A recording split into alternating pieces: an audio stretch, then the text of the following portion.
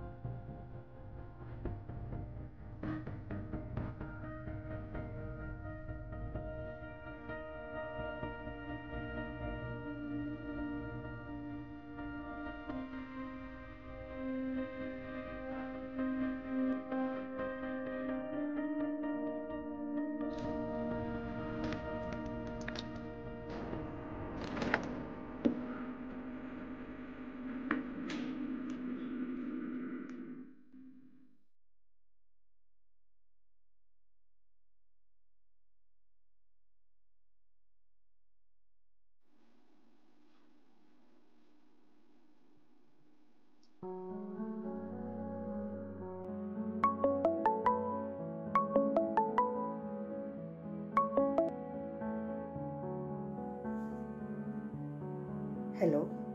Hello कैसी हो माँ? मैं ठीक हूँ बेटा। तुम कैसे हो? मैं ठीक हूँ। आप क्या कर रहे हो? मैं तैयार होकर बैठी हूँ। तैयार होकर बैठी हो? वो भी इस टाइम पे। रात के बारह बज रहे हैं। बेटा तुम शायद भूल गए हो। आज तुम्हारे डैडी का बर्थडे होता है। हाँ माँ मुझे पता है। इसलिए मैंने आपको कॉल किया। मैं उनका इंतज़ार कर रही हूँ। और आज उनका बर्थडे है तो मैंने उनके लिए केक भी बनाया है। मॉम क्या हो गया आपको? पापा को तो गुजरे हुए बीस साल हो गए। हाँ बेटा। जब हमारी शादी की पहली सालगिरह थी और तुम मेरी कोख में थी तो वो देश के लिए गए थे। और देश के लिए शहीद हो गए।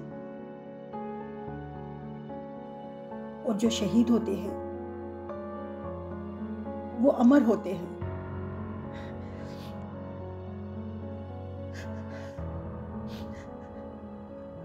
और वो हमारी हमारी यादों में ज़िंदा रहते हैं।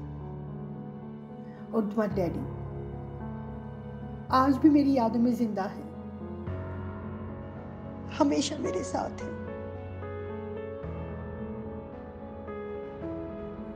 और हमेशा साथ रहेंगे। वो शहीद है बेटा।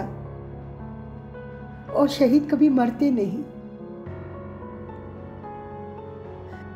और इसलिए उनका इंतज़ार कर रही हूँ। बस सालों से।